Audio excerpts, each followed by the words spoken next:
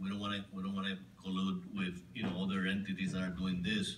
So we're working in coordination with FEMA and other entities that cover, cover the immediate needs. Uh, nonprofit organizations is a vehicle that, that we see that we can help and support, you know, with the economic support because they are already out there providing the services. Some of the proposals that have been approved are related to those entities that are ready and delivering the services, and we're gonna provide financial support.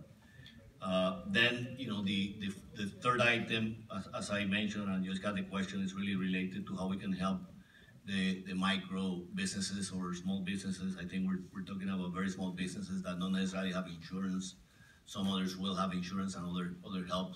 So we, we need to, to, to segregate, you know, and make sure that we prioritize those that have the, the, the need. And then education, which is really how we maximize, you know, how we create a, a multiplying effect on educating people to, to benefit from, from the different, you know, ben, federal benefits of FEMA, small business and others that are there today and they need certain compliance matters and, and we're, we're, we're investing in, in that education, in that reach out.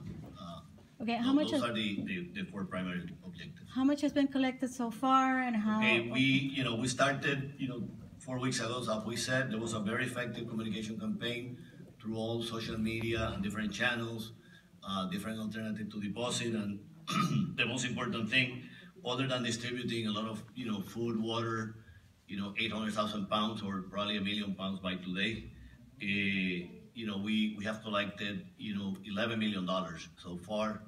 Uh, as I mentioned before, we have obtained the five oh one C three certification, which will bring, you know, larger donors, uh, in compliance to be able to help us. So, so that, that, that, that was very good news that we, we achieved that last week.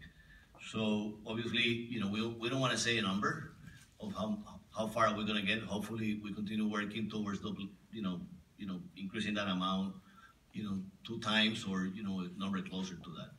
Thank you. Nadia, you